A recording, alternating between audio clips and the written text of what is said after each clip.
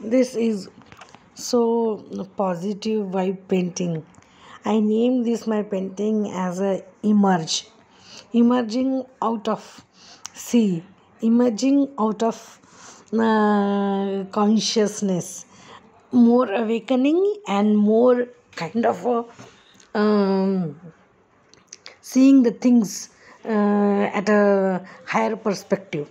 So I always think that when you keep your mind at a higher level, then you can see the things from upside down, and the things become uh, very trivial and very small when you uh, see these things from upside down. So I really think that this painting gave me a very um, a new insight of making ourselves new, new you.